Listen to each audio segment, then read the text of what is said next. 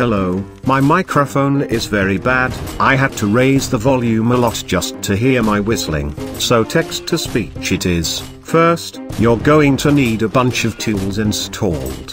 1. Using a PC with Windows 10 64-bit is obviously preferred, as that's what I use to do this. 2. Get an Android emulator. There are many alternatives. I use Memu because it fits my needs and I recommend it. 3. Get the APK for My Muppets Show. This is the only site I found that works, and thankfully it has the latest version before the game shut down. I will leave every link and file in the description. 4. Install Java JDK. Make sure it's Java 20 the Windows version, download the installer and run it. We'll need this to sign a modified APK. 5. Install 7-zip it is a better alternative to WinRAR that is totally free and will make editing the APK easier. 6. Install Visual Studio Code. It's what we'll need to modify the game's code. 7. Download the file that is on the description of this video, right at the top. That is the key that we'll use to sign My Muppets show each time you changed something in its APK. Now some recommendations before we start. Just let the song finish. 1. Extract the APK into a new folder so you can see what is there, like the Muppet icons and the sound files and most importantly the animations names, so you can see them while modifying the APK at the same time. 2. Copy the APK file somewhere else so you don't lose this original version. 3. Rename the first APK file to mms.app cause it makes everything easier. 4. Open the first APK file with 7-zip and remove these files. These are the original keys. And don't try to sign an APK that still has a key as it could not work. 5. Find Java. Its default path is on the screen. Right-click the bin folder and create a shortcut on the desktop so you don't have to go there each time. Move the key file to this folder as well. 6. Make a text file with these commands on it so you can copy paste them easily. You have to replace the mms.app with the file's name if you didn't change it, so it's better just to change the app to mms.app. 7. Open command prompt as an administrator, if you don't do it as an administrator it won't work. Now your working area should be ready. Now, as an example, I'll remove the play and help buttons and make the game load the Muppet Theatre along with the backdrop and lights, so you can see early on the continuous process of signing the APK. The login file contains the play and help buttons while the login base is the one we'll work on adding the stage and later on the Muppets. There are a few things you need to know about the elements. The X offset and Y offset closer to the event mean the position of the animation. Positive X goes to the right, negative X goes to the left, positive Y goes down and negative Y goes up. The backdrops tend to spawn up, so we want to raise the Y offset. The animation name component is the animation file you want to load, they are in the XML bin folder and are generally the ones with the bigger size. The animation component below is the name of the animation inside there bin file, there's always only one in each except for Muppets and their floor lights. The layer component has three options, pop-ups is the one on the back, mid pop-ups is the one on the middle and front pop-ups is the one on the front. We'll want pop-ups for backdrops, the scale means the zoom. For stages the correct number is 2196. If you raise it, it zooms out, showing parts of the stage you're not meant to see, and if you decrease it, it zooms in right on the center. Keep them the same number or else you'll see stuff squished vertically or horizontally.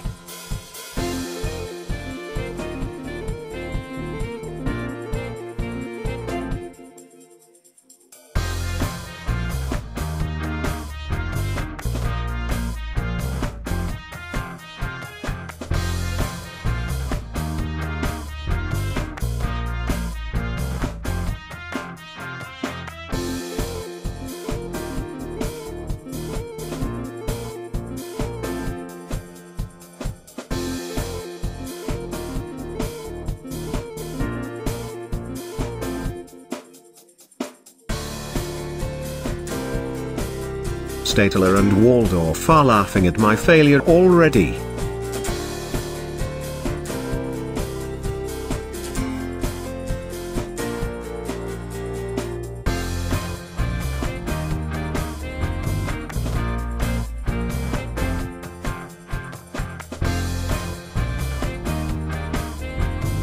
Watch out for the two events below, don't make them load what isn't there and they can't load something that isn't mentioned there, just follow my steps on this your first attempt.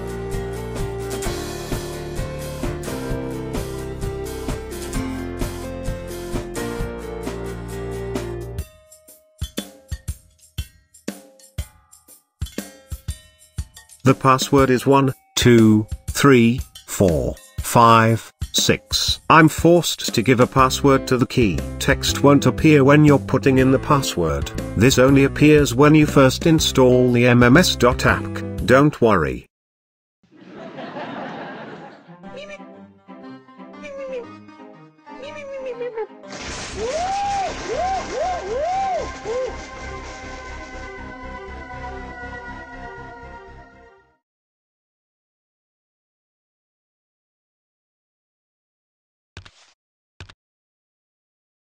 As you can see I've completely fudged it, definitely on purpose. The layer component is wrong and so is the backdrop placement, which we now will leave at 0 to see where it appears.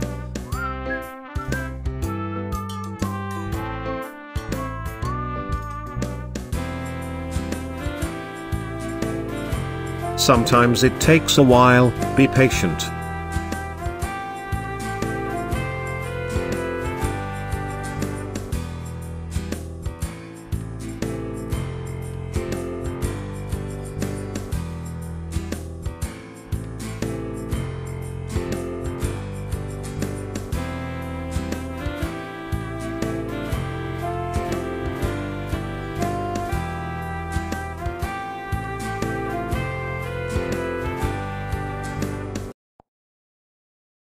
So this backdrop spawns at the middle, it's just that big houses spawns on the top and that got me confused.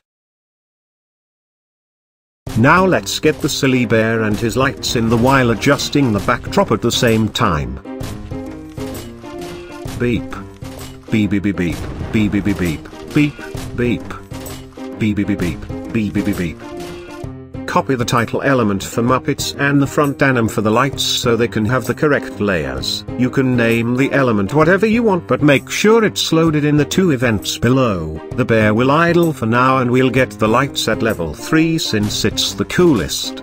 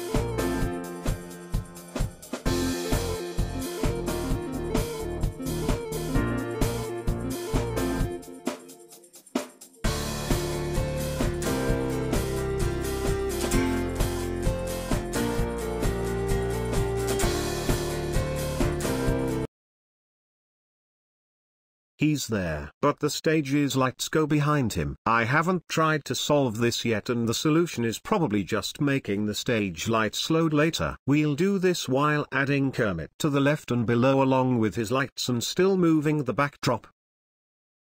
Let's pull a prank on Fozzie and make him freeze after his track is done, which is what happens on most play animations anyway, except Dr. Teeth's and Lou Zealand's.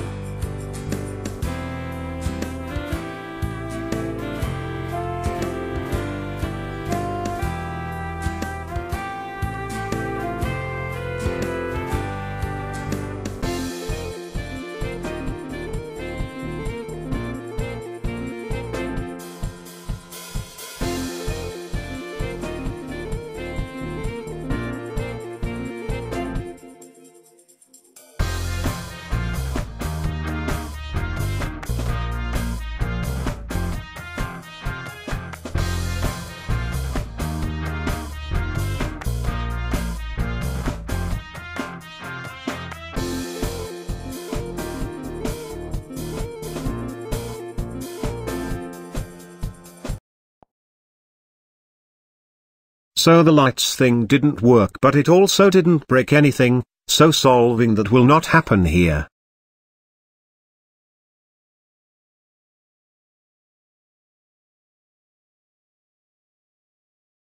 Now our last step is making Fozzie play his sound and then idle, and for that we'll use the story panel's menus code. For now you can make or the Muppet play the track and idle by putting the string as idle or make the Muppet play forever by putting the track animation's name in the string.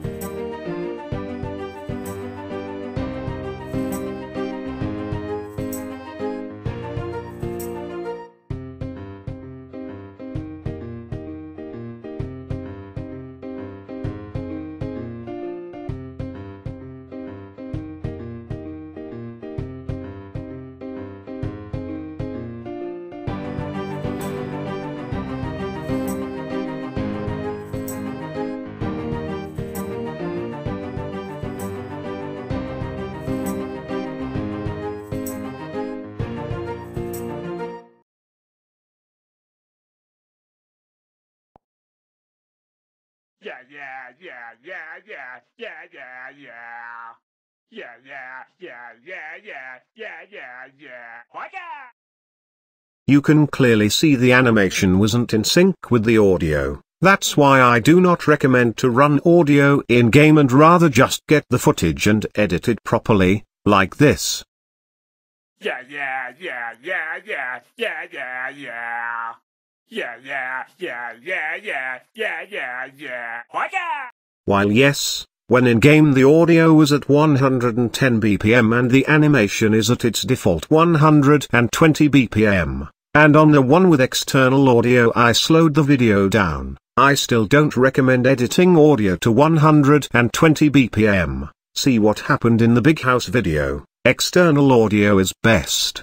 That's it for this tutorial because I'm already sick of this. You can ask anything in the comments because I could have missed something. But that is pretty much all there is to it as far as I can remember of importance. Try meddling around with the animation files and see what you can get. First to post a successfully bigified Muppet that isn't Fozzie or Kermit, and is done on a stage other than a theater in the comments wins a pin because I can't offer much more.